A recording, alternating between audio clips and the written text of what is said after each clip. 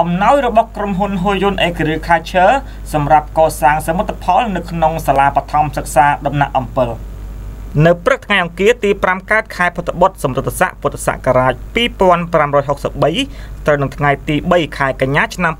2019លោកយុនសុផាតអគ្គនាយកក្រុមហ៊ុន Hoyun Agriculture ដែលជាក្រុមហ៊ុនផលិតជីធម្មជាតិនិងសហការីបាននាំយកអំណោយជីថវិកាប្រគល់ជូនគណៈគ្រប់គ្រងនិងគណៈកម្មការត្រួតត្រងសាលាបឋមសិក្សាដំណាក់អំពិលស្ថិតនៅក្នុងភូមិដំណាក់អំពិលឃុំដំណាក់អំពិលស្រុកអង្គស្នួរខេត្តកណ្ដាលដើម្បីចូលរួមចំណែកកសាងខ្ចោះនិងបុកអង្គុយលេងសម្រាប់លោកគ្រូអ្នកគ្រូនិងសិស្សានុសិស្សឆ្លៀតនៅក្នុងឱកាសនោះផងដែរលោកយុនសុផាតក៏បានផ្ដាំផ្ញើដល់គណៈគ្រប់គ្រងសាលាពិសេសលោកនាយកនិងលោកនាយករងឲ្យជួយថែរក្សាសមិទ្ធផលទាំងនេះដើម្បីអាចប្រើប្រាស់បានយូរអង្វែងនិងសម្អាតបរិស្ថានសាលារៀនជុំវិញសាលាឲ្យបានស្អាតជានិច្ចលោកគីសុខុមនាយកសាលានិងតំណាងឲ្យលោកគ្រូអ្នកគ្រូនិងសិស្សានុសិស្សទាំងអស់បានថ្លែងអំណរអគុណដល់លោកយុនសុផាតអគ្គនាយកក្រុមហ៊ុន Hoyun Agriculture ដែលបានចំណាយថវិកាផ្ទាល់ខ្លួនឧបត្ថម្ភខ្ចោះនិងបោកអង្គុយលេងដល់សាលារៀនជាចុងក្រោយលោកគីសុខុមក៏បានប្រគល់លិខិតថ្លែងអំណរគុណជូនលោកយុនសុផាតនិងបានថតរូបទុកជាអនុស្សាវរីយ៍ផងដែរ